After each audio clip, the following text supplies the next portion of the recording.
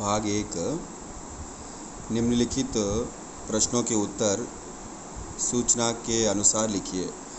थम थम दिन के तम में, सपने जगते मन के। रेखांकित शब्द का तत्सम रूप लिखिए। इसका सही उत्तर ये वाला है। दूसरा प्रश्न, पिताजी अंदर खाना खाते हैं। क्रिया विशेषण शब्द चुनकर लिखिए। क्रिया क्या है यहाँ पर? खाते हैं। कहाँ खाते हैं? अंदर खाते हैं। तो अंदर इसका क्रिया विशेषण हुआ। तीसरा प्रश्न 1959 हिंदी अक्षरों में लिखिए। उन्नीस सौ उनसठ।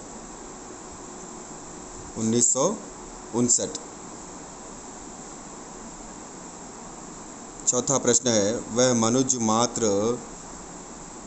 डैश धन है, सही कारक चिन्ह पहचानिए। का, की, के। वह मनुज मात्र का धन है।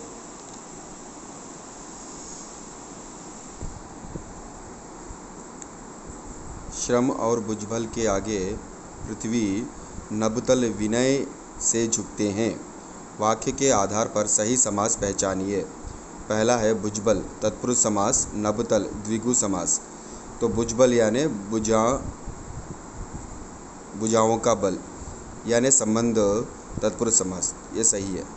नभ और तल, द्विगु समास नहीं, द्वंद्व समास होगा, ये गलत है।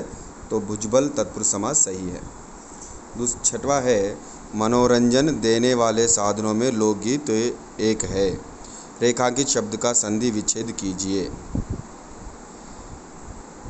मनः प्लस रंजन। सातवां, जिसमें कपट ना हो, एक शब्द में लिखिए। जिसमें कपट ना हो, निश कपट। इसका सही उत्तर। आठवां है, अमीना का दिल कचोट रहा है। रेखांकित मुहावरे का अर्थ पहचानिए।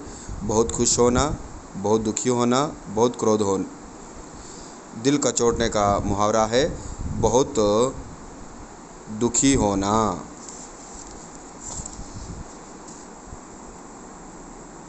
नौवा है, महारानी उत्तेजित अवस्था में मंच पर प्रवेश करती है। लिंग बदलकर वाक्य फिर से लिखिए। महाराजा महाराजा उत्तेजित अवस्था में मंच पर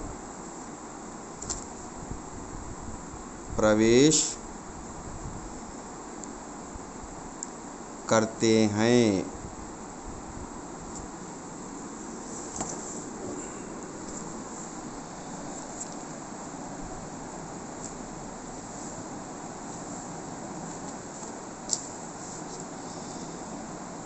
दसवां प्रश्न है, स्त्रियाँ ढोलक की मदद से गाती हैं। वचन बदलकर वाक्य फिर से लिखिए।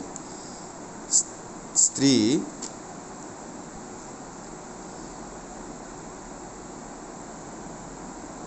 स्त्री ढोलक की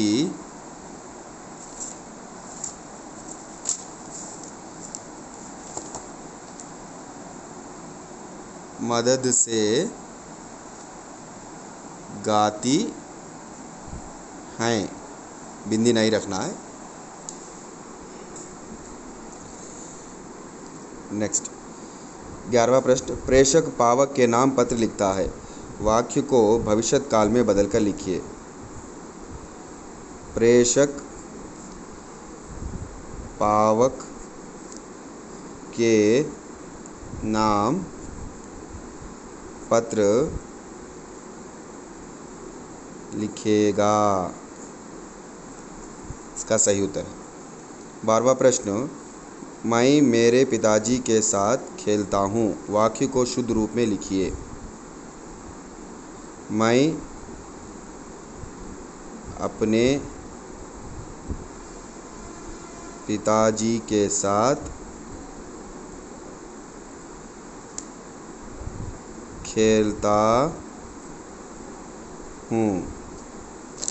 बच्चों, यह है भाग एक के प्रश्नोत्तर। धन्यवाद। प्रश्न संख्या तेरह से सोलह तक दिए गए गद्यांश को और पद्यांश पढ़कर निर्देशन के अनुसार उत्तर दीजिए। तेरहवा प्रश्न, निम्नलिखित तो गद्यांश पढ़कर नीचे दिए गए प्रश्नों के उत्तर अनुच्छेद में पहचान कर लिखिए। लोकगीत तो ढोलक, झांझ आदि के मदद से गाते हैं। एक समय था जब शास्त्रीय संगीत के सामने इनको है समझा जाता था। अभी हाल तक इनकी बड़ी अपेक्षा की जाती थी। पर इधर साधारण जनता की और जो लोगों की नज़र फिरी है तो साहित्य और कला के क्षेत्र में भी परिवर्तन हुआ है। अनेक लोगों ने विविध बोलियों के लोकगीत, लोक साहित्य और लोकगीतों के संग्रह पर कमर बांधी है और इस प्रकार के अनेक संग्रह अब तक प्रकाशित हो गए हैं। अब प्रश्न है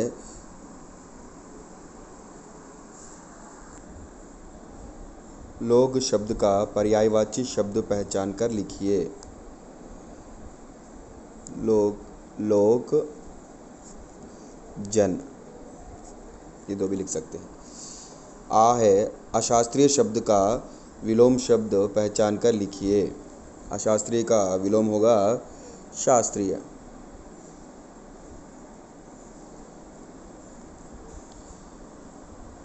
ई। लोक उपसर्ग से युक्त शब्द पहचान कर लिखिए। लोक, यानी पहला ही वर्ड है, लोकगीत। लोक गीत ई है, इत प्रत्यय से युक्त शब्द पहचान कर लिखिए। लोकगीत, ढोलक, सांझा आदि की मदद से गाते हैं। एक समय में जब शास्त्रीय संगीत के सामने है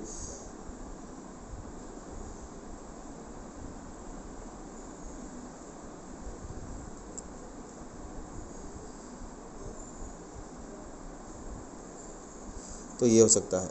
यही है यानी प्रकाशित, इत। प्रकाशित। छोटी की मात्रा और था लोकगीत तो ढोलक, साँझ, झांझ आदि के मदद से गाते हैं। इस वाक्य में क्रिया शब्द पहचान कर लिखिए। तो गाते हैं। गाते हैं भी लिख सकते हैं या गाते भी लिख सकते हैं।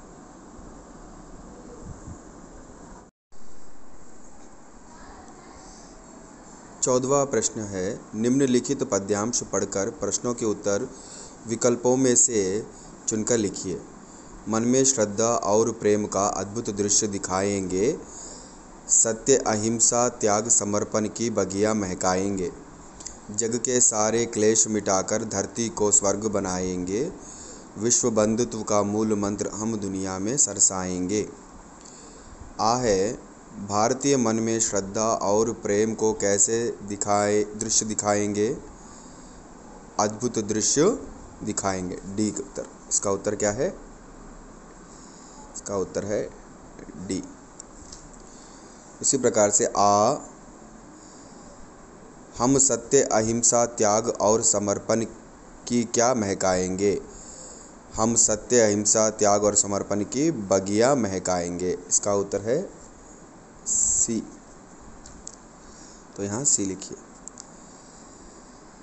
तीसरा प्रश्न है, ई, हम जग के सारे क्लेश मिटाकर धरती को क्या बनाएँगे?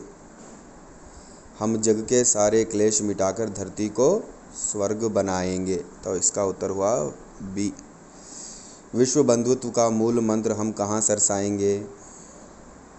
विश्व बंधुत्व का मूल मंत्र हम दुनिया में सरसाएँगे। इसका उत्तर हुआ ये। उसी प्रकार से इस पद्यांश के कवि कौन है? इस पद्यांश के कवि, ये कौन सा पाठ है? हम भारतवासी। तो हम भारतवासी के कवि कौन है? R P Nishank. इसका उत्तर हुआ डी। निम्नलिखित गद्यांश पढ़कर नीचे दिए गए प्रश्नों के उत्तर एक वाक्य में लिखिए। पेशवा की सेना हार गई। यह अच्छा ही हुआ। अब पेशवा की आँखें खुलेंगी। रघुनाथ अपनी सेना को तैयार होने की आज्ञा दो। रो, रोज़ ग्वालियर का किला नहीं ले सकेगा।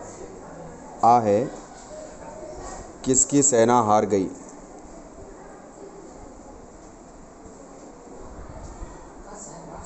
पेशवा की सेना हार गई। पेशवा की सेना सेना हार गई। आ प्रश्न। रघुनाथ, अपनी सेना को तैयार होने की आज्ञा दो।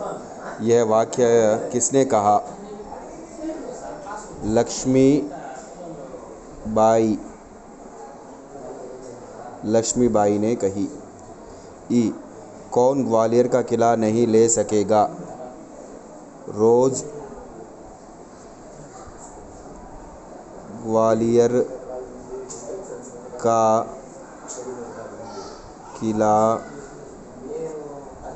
नहीं ले सकेगा। अब किसकी आँखें खुलेंगी? पेशवा की आँखें खुलेंगी। यह गद्यांश किस पाठ से दिया गया है? यह गद्यांश स्वराज्य की नींव पाठ से दिया गया है। सोलवा प्रश्न है, निम्नलिखित गद्यांश पढ़कर नीचे दिए गए प्रश्नों के उत्तर विकल्पों में से चुनकर लिखिए। हाँ तुमने आगे की पढ़ाई के लिए द्वितीय भाषा के रूप में हिंदी विषय का चयन करने की सलाह पूछी थी। हम जान चुके हैं कि आज राष्ट्रीय और अंतर्राष्ट्रीय स्तर पर हिंदी का महत्वपूर्ण स्थान है। हम इससे अपने उज्जवल भविष्य का निर्माण कर सकते हैं। इसलिए आगे की पढ़ाई के लिए प्रथम भाषा हो या द्वितीय भाषा, हिंदी का चयन करना ही लाभदायक है। मुझे पूरा विश्वास है कि तुम हिंदी से जुड़कर अंतर्राष्ट्रीय स्तर पर अपने देश का नाम रोशन करोगे। प्रश्न, आ, द्वितीय भाषा के रूप में किस विषय का चयन करने की सलाह पूछी थी? तो इसका उत्तर है ऑप्शन से तमिल, हिंदी, अंग्रेज़ी या तेलुगु। तो इसका उत्तर क्या है यहाँ पर देखिए। द्वितीय भाषा के रूप में हिंदी भाषा का चयन करने की सलाह पूछी थी। द्वितीय भाषा तो इसका उत्तर है बी। आ का